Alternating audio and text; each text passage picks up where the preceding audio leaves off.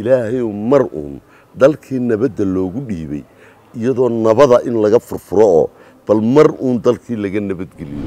Maanta somalilan oo ahayd gasiirad yar oo nabadeed oo iftiimaysa oo dimuqraadiyaddana faan weyn ku qabta ayaa laambadii sii shiikhaysaa welwel dimuqraadiyaddiiyabaa ina haystaa welwel dhinacii nabadgelyadoo gobollada qaar awdkoodabaa ina haystaa kaasi in lagu sii riixayo culayska iyo caburka iyo waxa ay tabanayeen in aanay jawaabtii ay u baahnaayeen la siinaynin.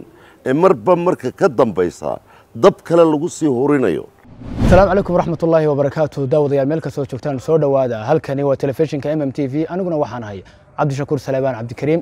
Dhinacayga sida arkaysaan waxaa la jooga wasiirkii hore ee wasaaradda warfaafinta dhaqanka iyo wacyigelinta ee somalilan mudane cabdilaahi maxamed daahir cukuse. Iminkana ka mid ah saraakiisha xisbiga mucaaradka ah ee wadani.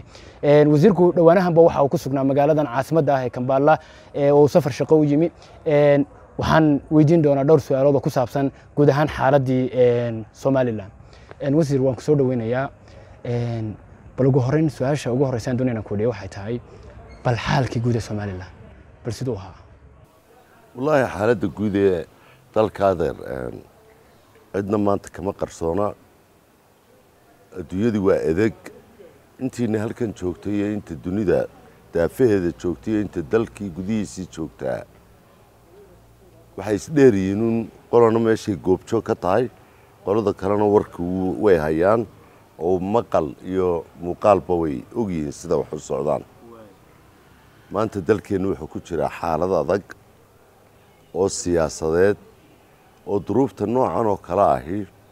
Marar ay wax u eegi soo mareen way jirtay laakiin noocan oo kale marka la eego xilli geeska afrika isbedello badani ay ka socdaan.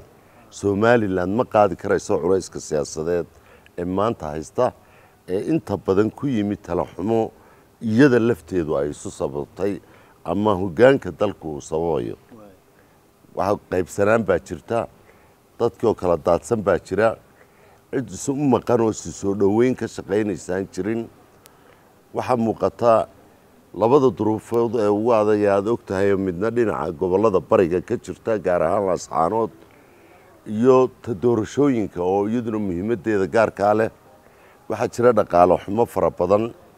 Waxaa jira markaad eegto dunidii isbedelada faraha badan lee kale ee ka socda ee hareeraheennana ka dhacaya shar iyo khayrba leh maanta somalilan oo ahayd gasiirad yar oo nabadeed oo iftiimaysa oo dimuqraadiyaddana faan weyn ku qabta ayaa laambadii sii shiikhaysaa welwel dimuqraadiyaddiiyabaa ina haystaa welwel dhinacii nabadgelyadoo gobollada qaar awdkoodabaa ina haystaa si gaara haddaynu eegno xaaladda guud markaanu ka nimaadno si gaara haddaynu eegno xaaladda ama xiisadda ka taagan magaalada laascaanood sidee u aragtaan sidaa ummadoo dhammi u aragta baan u arkaa. Waxaan u arkaa dalka somalilan qayb ka mid ah oo duruuf gaara oo aan u qalmin inay galaan galay. Waxaan u arkaa dadkaasi in lagu sii riixayo culayska iyo caburka iyo waxa ay tabanayeen in aanay jawaabtii ay u baahnaayeen la siinaynin. Ee marba marka ka dambaysa dab kale lagu sii hurinayo waxaan u arkaa inuu ka dhalan karto culays fara badan oo keeni kara inay somalilan dhaawacanto ayaa ka socota meesha. Ilaahayna waxaan ka baryaynaa inuu dadkana ku soo dabaalo nabad dowladnimaduna ay noqoto mid mar labaad ilaahay ku hagaajiyo ku ilaamiyo inay dariiqa wanaagsan dadka ku hogaamiyaan oo ay qabtaan doorashooyinkii loo baahnaa si xal dalku uu heli karo. Waan gartay. Madaxweynaha somalilan uu ka hadlay xaaladda hadalkiisa u dambeeyey haddaan soo qaato.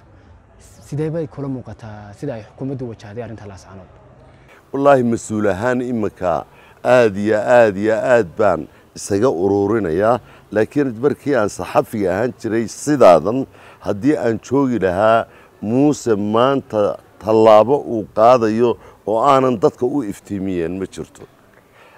Muuse khudbaddiisu imay raalligelinin siday aanay aniga ii raalligelinin ayaanay cidnaba u raalligelinin ayaan u malaynayaa. Adiguba waad aragto cid ku faraxsanoo mu u asiibay leh.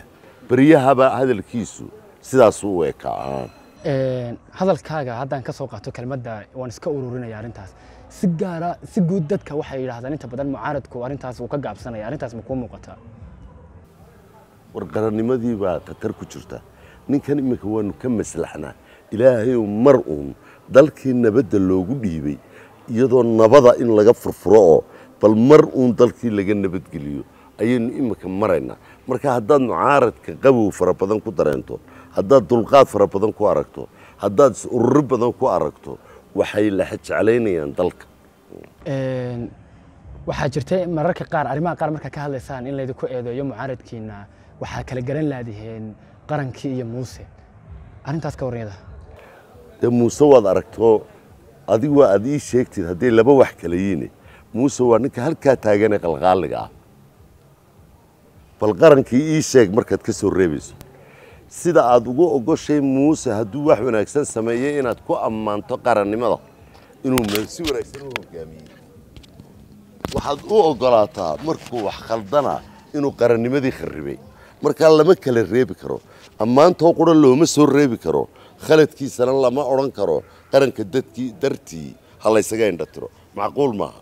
Labadiiba qarankii isagaynu ku nidhi isagaa head of stateda ereyga qaran waa state isagaana head of stateda.